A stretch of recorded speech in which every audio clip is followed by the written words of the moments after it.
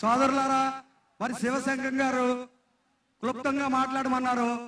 కానీ గత నాలుగు సంవత్సరాల నుంచి నాలుగు నెలల నుంచి మా ఆవేదన ఆక్రందన మా ఘోష మా దుర్భరమైనటువంటి జీవన విధానం చెప్పుకుందామంటే ఎవరు వినలేదండి.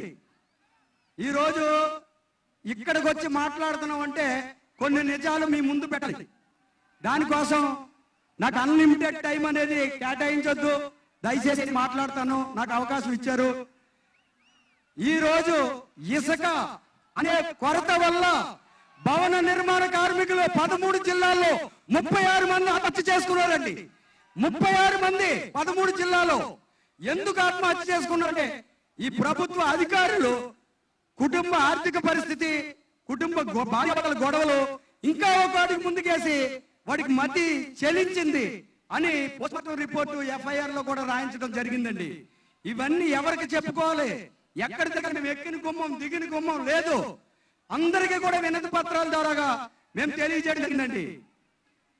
ఈ ప్రభుత్వానికి ఎంఆర్ఓ ఆఫీస్ దగ్గర ధర్నా చేసాం సభల దగ్గర ధర్నా చేశాం కలెక్టర్ ఆఫీస్లో ధర్నా చేసాం వినతి పత్రాలు ఇచ్చాం. ఏ మాత్రం స్పందనండి కానీ ఒకరోజు మాకు ఒక ఆలోచన వచ్చింది.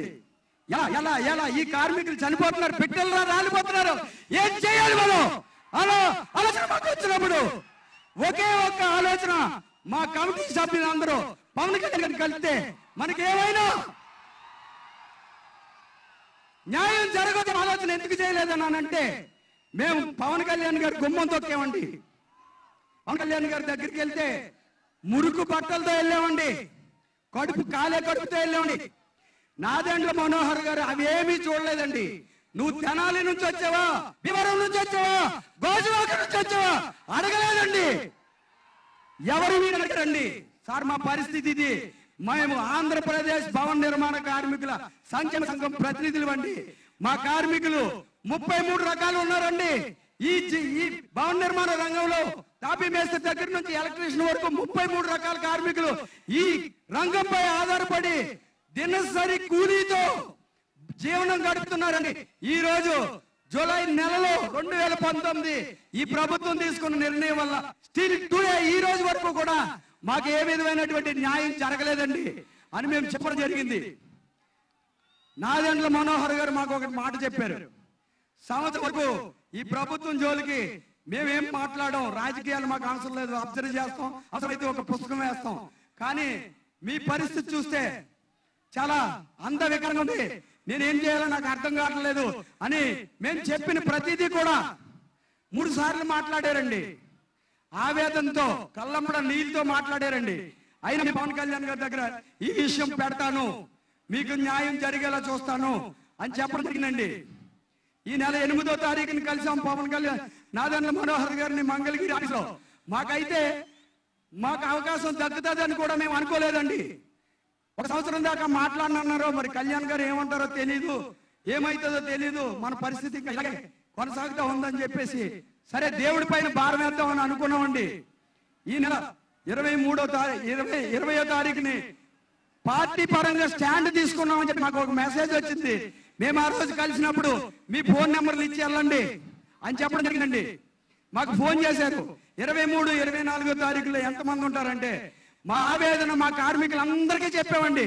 మేము వస్తాం మేము వస్తాం మేము వస్తాం అంటే మూడు వందల మంది మంగళగిరి ఆఫీసులో పరామర్శించారండి. మేమైతే మా మీద స్టాండ్ తీసుకున్నారు కాబట్టి మీకు ముందు ధన్యవాదాలు చెప్తున్నాం సార్. జనసేనాని మా ముందుంటే మేము ఒక ఉద్దండం చూసాం ఆక్వాకల్చర్ పార్క్ చూసాం రాజధాని భూములు చూసాం కానీ మీతో మాకు పరిచయం లేదండి. అని చెప్పి మేము మాట్లాడటం జరిగినది ప్రతి కార్మికుడిని కూడా పేరు పేరున నీ సమస్య ఏంటి నీ సమస్య ఏంటి నీ సమస్య ఏంటి అని అడిగిన తర్వాత ఆ రోజు మాకు ఒక నిజం చెప్పారండి. ఎవరైనా సరే నాకు రాజకీయ అనుభవం లేదండి. నేను రాజకీయ నాయకుని కాదు. నేను తినసరి కూలీని. నాకు ఉద్దేశమే లేదు. నేను పని చేసుకుంటే నా కనుక కుటుంబం కడదండి అలాంటి పరిస్థితిలో మా మా మా ఎదుర్కొన్న నాదేంద్ర మనోహర్ గారితో మనం ఒక్కరిమే చేయడం కాదు. అఖిల పక్షం ఏర్పాటు చేద్దాం. మీరు అందరిని లైవ్లోకి తీసుకోండి అని చెప్పారండి. స్వార్థ పూరిత నిర్ణయం ఎక్కడా లేదండి. ఆ రోజే మేము అనుకున్నామండి. జనసేనాని న్యాయం అయిపోయింది మనకి. ఈ రాష్ట్రంలోని మేము ఇరవై నాలుగో తారీఖుని కలిసామండి ఈ నెల. ఇరవై ఆరో తారీఖుని పేపర్లో స్టేట్మెంట్ వచ్చిందండి. ఇసుక వారోత్సవాలని మేము ఐదు నెలలు తిరిగామండి. స్పందన లేదండి. చీమ కన్నా పురుగు కన్నా కటిపరి కన్నా హీనంగా చూశారండి? మాకు ఎక్కడైతే న్యాయం జరుగుతుందో మా కార్మికులందరూ కూడా ఆలోచన చేసి పవన్ కళ్యాణ్ గారి దగ్గరికి వెళ్తే ఈరోజు ఎనభై ఐదు లక్షల మంది కార్మికుల తరపున నేను క్షమాపడుతున్నానండి ఇలాంటి నాయకుడిని ఎందుకు కాపాడుకోలేకపోయావు? అందులో నాకు తప్పుతుంది నా బాధ్యత కూడా ఉందండి. అయ్యా నన్ను క్షమించండి.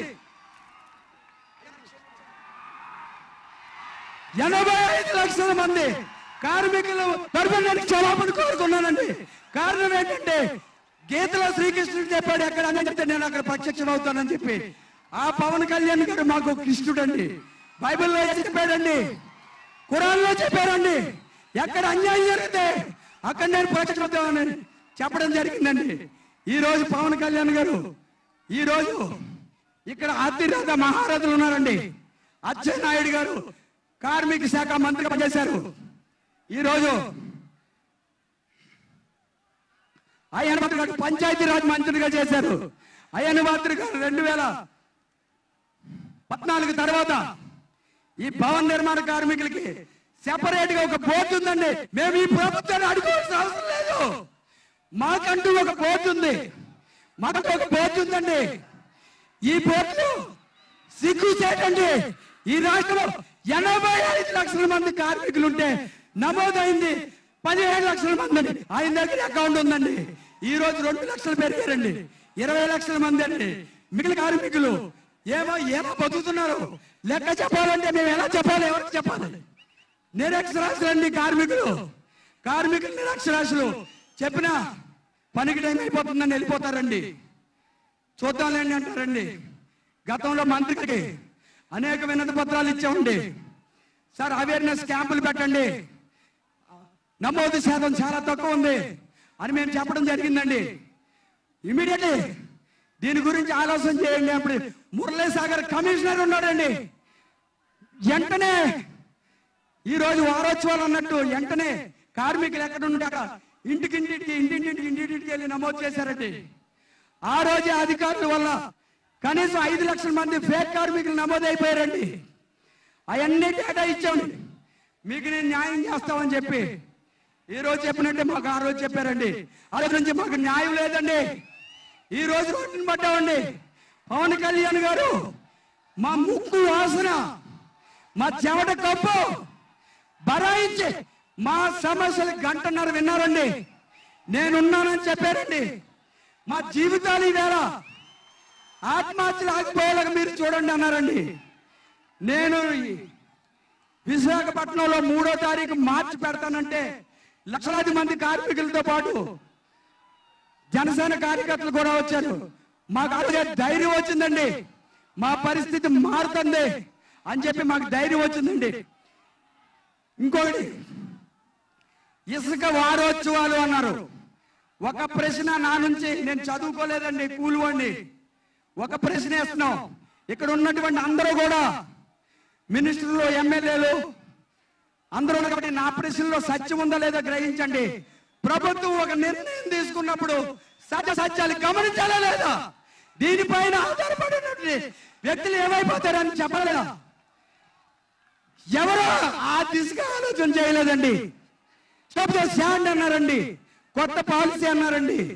కొత్త పాలసీలో ఈరోజు పాత పాలసీలో ఇరవై ఎనిమిది వందలకు వచ్చే లారీ ఈరోజు ఆరు వేల ఐదు వందలు ఉందండి భవన నిర్మాణ రంగంపై భారం పడిపోయిందండి. ఎక్కడ నూతన విధానంలో బెనిఫిట్ ఉందనేది ఒకసారి ఆలోచించండి. మరి ఆటో కార్మికులకి ఇంకొకరికి ఇంకొకరికి ఏమి ఇచ్చినా మేమేమో అడగమండి. ఎవరో ఏట మానేస్తే పదివేలు ఇస్తామన్నారు. ఇక ఐదు నెలల రోడ్డును పట్టారు. ఒక్కొక్క కార్మికుడునండి. బతుకు భారం అయిపోయి ఏం చేయాలో నిస్సాయిత అండి ఈ రోజు భవన నిర్మాణ కార్మికులకు ఉన్నటువంటి వెసులుబాటు ఏంటంటే ఏ రోజు జీతం ఆ రోజు వచ్చేస్తుందండి. దానికోసం జలసాగా సాయంత్రానికి ఇంటికి ఏం కావాలి? పిల్లలకి ఏం కావాలి? పట్టుకెళ్ళిపోయే కార్మికుడు. ఈ రోజు డబ్బులు లేక అప్పు పుట్టిక ఆత్మహత్య చేసుకుంటే ఈ ఆత్మహత్య చేసుకోకపోతే ఇంకేం చేస్తాడండి? పిట్టల రాలిపోయారండి ముప్పై ఐదు మందికి. సార్ మీకు వినపత్రంలో ఇచ్చాను.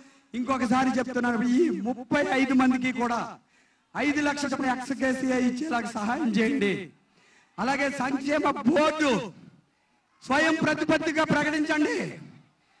ఈ సంక్షేమ బోర్డులో రెండు వేల పద్నాలుగు నుంచి రెండు వేల పది వరకు పంతొమ్మిది వరకు అనేక అవకతవకలు జరిగినాయని అన్ని పార్టీలు ధర్నా చేసినాయండి.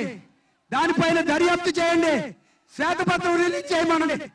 దయచేసి నా ఆవేదన మీకు చెప్పడానికి నాకు సహాయం చేసినటువంటి ఇవాళ సంవత్సరం వరకు మేము మాట్లాడమని భవన నిర్మాణ కార్మికులు వ్యధ ఆక్రందన ఇని మరి ఇంత బృహత్తరమైనటువంటి కార్యక్రమాన్ని మాకు అందించినటువంటి పవన్ కళ్యాణ్ గారికి ధన్యవాదాలు తెలియజేస్తానండి ఇంకొకటండి నాకు ఇవాళ పునర్జన్మ అండి. పవన్ కళ్యాణ్ గారు వచ్చినప్పుడు నన్ను అందరూ తొక్కేశారండి. నేను మళ్ళీ ఎదుర్కొన్న నువ్వు వెళ్ళిపో నువ్వు నీకు ఇబ్బంది అవుతుందని నన్ను ఆయన బయటికి పంపేశారండి. నాకు ఈరోజు పవన్ నిర్మాణ కార్మికులు ఆత్మహత్య చేసుకోవడంలో ఇవాళ ఆయన పిలుపుతో చాలా మంది వెనుకడిగేశారండి. ఈ రోజు నాకు ఆయన స్వయంగా ప్రాణభిక్ష పెట్టారండి. నేను నేను అంబులెన్స్లో వచ్చానండి ఇక్కడ దాకా. లోపలికి రావడానికి నాకు ఉన్నటువంటి అవకాశం ఓన్లీ పవన్ నిర్మాణ కార్మికుడు అండి దయచేసి ఈ అవకాశాన్ని మాకు ఇచ్చినటువంటి పవన్ కళ్యాణ్ గారికి మా చెమట గమ్ము బరాయించి పవన్ కళ్యాణ్ గారికి చెప్పే విధంగా చెప్పిన నాదేండ్ల మనోహర్ గారికి మరి పాదాభివందనం చేస్తున్నానండి. రాజకీయ అతీతంగా ఏ నాయకుడైనా సరే ఫస్ట్ స్టాండ్. నాకేంటి ఉపకారం? నా పార్టీకి ఏంటి ఉపకారం? అని చూసిన వాళ్ళు మేము చూసామండి. పవన్ కళ్యాణ్ గారు అఖిలి పక్షం అన్నారండి. ఇందులో మాట్లాడిన ప్రతి ఒక్కరూ కూడా అన్ని రకాల పార్టీలు ఉన్నాయండి. స్వార్థం లేని నాయకుడండి దయచేసి భవన నిర్మాణ కార్మికులకి మీ ద్వారా జరిగిన న్యాయానికి ఆ జన్మంతో రుణపడి ఉంటాను సార్. ధన్యవాదాలు సార్.